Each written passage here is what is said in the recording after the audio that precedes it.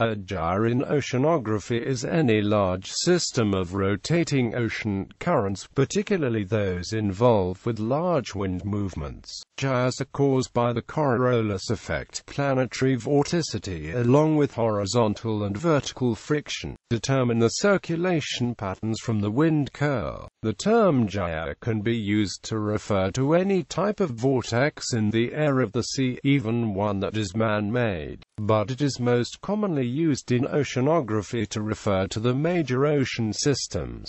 Major gyres. The following are the five most notable gyres. Other gyres. Tropical gyres Tropical gyres are less unified and tend to be mostly east-west with minor north-south extent. Atlantic Equatorial Current System Pacific Equatorial Current System Indian Monsoon Gyres Subtropical gyre. The center of a subtropical gyre is a high-pressure zone. Circulation around the high pressure is clockwise in the northern hemisphere and counterclockwise in the southern hemisphere. Due to the Coriolis effect, the high pressure in the center is due to the westerly winds on the northern side of the gyre and easterly trade winds on the southern side. These cause frictional surface currents towards the latitude at the center of the gyre. This buildup of water in the center creates flow towards the equator in the upper 1000 to 2000 meters of the ocean through rather complex dynamics.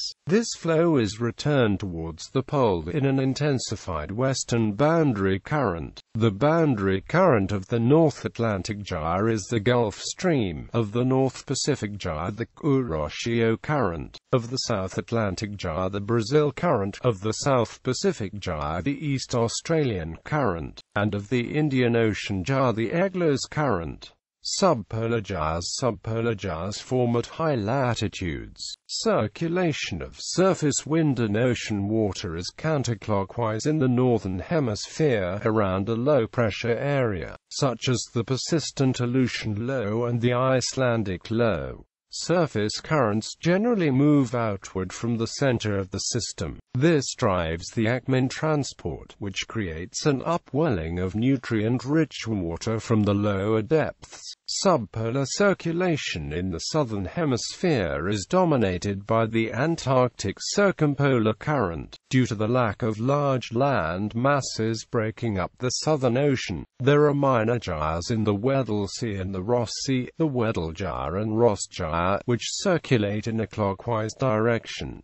Climate change. Recently stronger winds, especially the subtropical trade winds in the Pacific Ocean have provided a mechanism for vertical heat distribution. The effect of changes in the ocean currents increasing the subtropical overturning, which are also related to the El Niño and La Niña phenomenon. Depending on natural variability, during La Nina years around 30% more heat from the upper ocean layer is transported into the deeper ocean. Several studies in recent years found a multi-decadal increase in OHC of the deep and upper ocean regions and attribute the heat uptake to anthropogenic warming, the influence of the Coriolis effect on westward intensification. Because the Coriolis effect is strongest near the poles, water flowing eastward at high latitudes turns sooner and is short-circuiting the gyre. At the equator the Coriolis effect is non-existent and the water flows westward until it encounters a blocking continent. Westward boundary currents are therefore faster and deeper than eastern boundary currents, and the geostrophic hill is offset to the west.